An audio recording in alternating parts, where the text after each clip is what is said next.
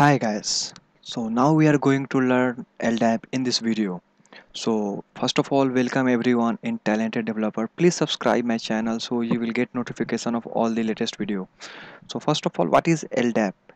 LDAP is stand for Lightweight Directory Access Protocol. Mainly like it will provide you to give authentication and authorization.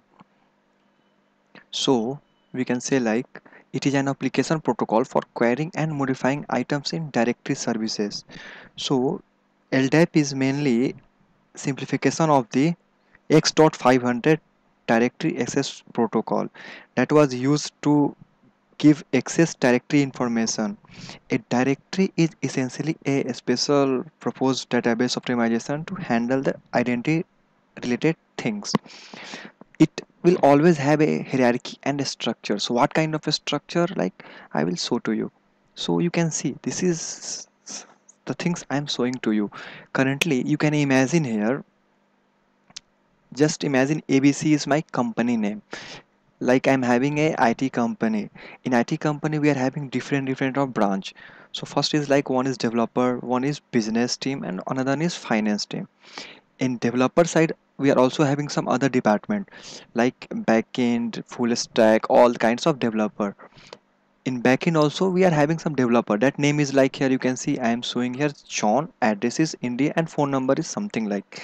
In business team also we are having some peoples. In finance also we are having some different different from branch like account cheap accounts all the things. So this is a overall structure of ldap we have to understand how we can use and how we can enhance these things to the our lightweight directory access protocol. So first imagine here. This is your organization name. Always this top level hierarchy is known as organization. So my organization name is abc okay. It having some subcategories. That name is organization unit like second level. So first level is organization organization name is abc he having some department. Department name is known as organization unit. So you can see in this diagram currently we are having three different categories like organization unit. One is developer one is business and another one is named finance.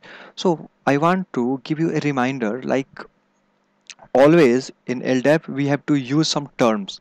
Terms in the name like shortcut. So cn cn means common name sn means surname dn means distinguished name o means organization name ou organization unit dn distinguished name and user user can belongs to a initialization of organization person or group of unique name. so if you want to know how we can create a ldap please see your right side i am showing some tutorial already i have given to you so see first level is organization. Next level is organization unit. Okay? If you are having again sub unit so we can say like again organization unit. After that we are having some people. People name is known as attributes so last level is attributes. Before that organization unit. Again organization one unit is there. And after that on top hierarchy we are having organization. Suppose i want to call this name. This name is john so if you want to get the information about this guy how we can get? For getting this one we have to use some things like likewise you can say here his name is john. So he is the attributes. So he having some common name. So common name is john mark and he belongs which organization unit? Is backend so i given here backend and he belongs to which other subcategories like organization unit. Yes he will belongs to developer group. So i given here developer. And now he belongs to which organization?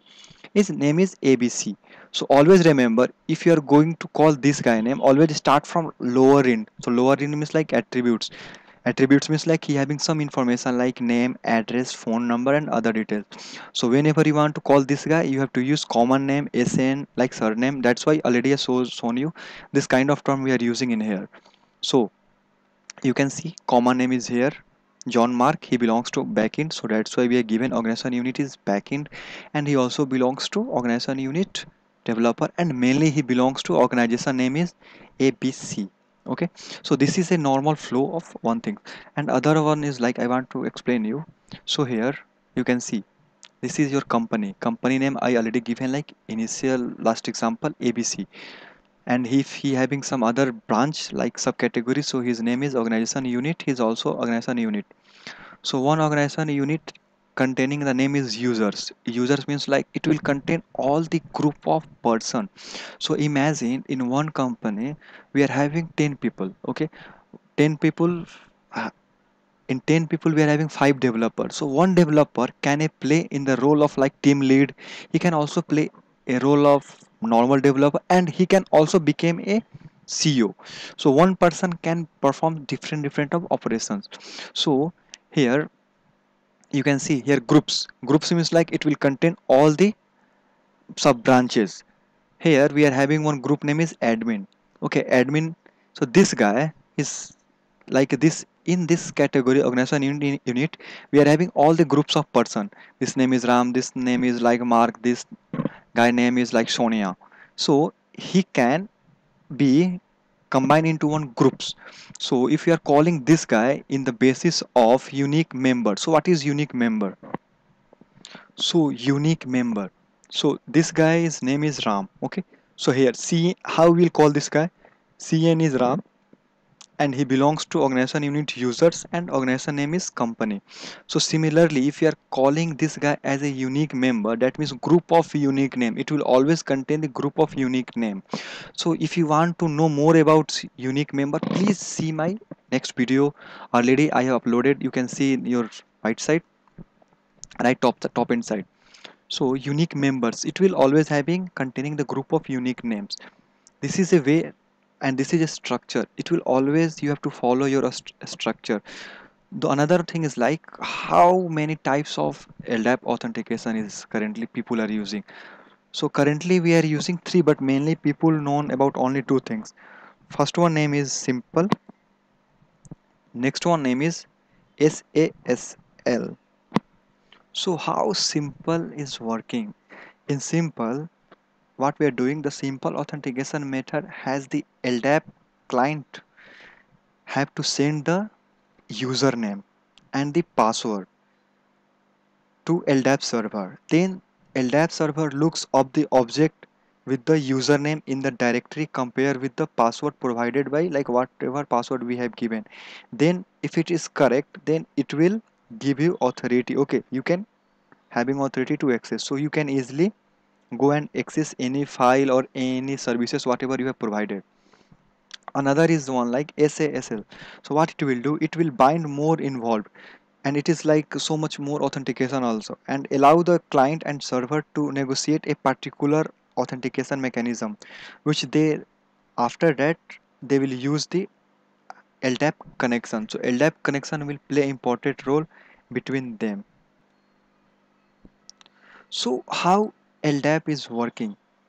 To access the LDAP services, first of all, LDAP client must authenticate itself to the services. If I am having like a Facebook application, okay, you want to use my application. So first of all, you have to authenticate yourself.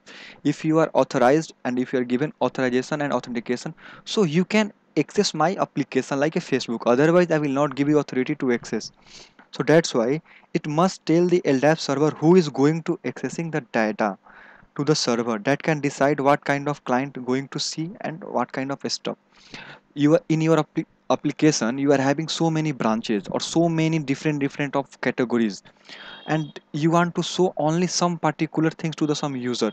So what will what you can do you can create one LDAP server okay? In LDAP server you can give some authorization okay? This guy can see only this file okay? That guy can see whole file. So in CEO CEO can see whole things of your website. But you want to give some authentication to only developer like he can see only this particular file. So you can definitely go for LDAP so LDAP is very good way for authentication and please you can see other videos and please subscribe my channel. Thank you guys